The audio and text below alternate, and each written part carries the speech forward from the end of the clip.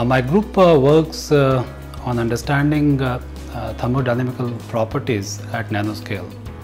So we try to look at uh, how particles or molecules uh, behave, particularly uh, under extreme conditions such as confinement or very high temperature and pressure conditions.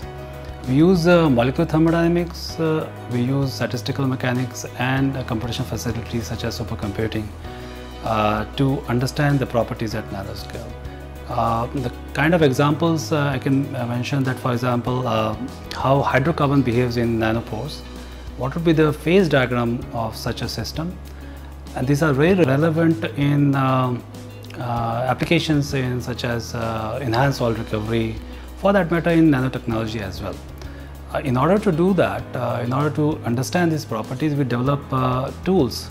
Uh, these are Monte Carlo or molecular dynamics tools, and as well as uh, develop platforms which uses this tool to expedite uh, finding such properties. Uh, property estimation in general is an extremely important uh, activity for any applications in today's time. What is necessary is to also provide a platform which can expedite such estimation of the property. So my group is interested to develop such kind of platform.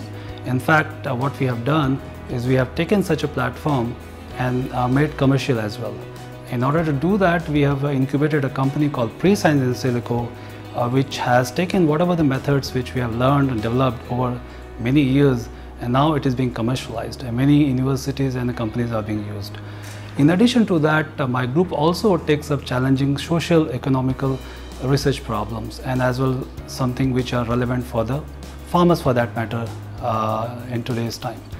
And in that direction, what we have is uh, we have created a small tinkering lab, which is being used to create uh, some product and use our ideas and fail and you know trial and fail. And subsequently we succeed we get uh, you know create some kind of a product. Uh, in this direction Bhu Parikshak is an, a classic example which is a handheld device which we have created or developed uh, which can uh, predict the property of soil in less than one minute.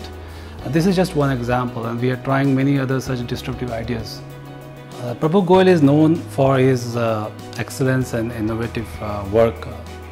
Uh, this chair is uh, propelling us to push our boundaries in creating new innovative product and ideas, such as what we have recently done in introducing Bhu Parikshak uh, for farmers, or for that matter, creating this deep tech science uh, startup company. Uh, this chair will continue to inspire us, uh, not just me, but my group as well, and we'll be continuing striding forward to create new heights of uh, innovative uh, research which we are doing at uh, our place.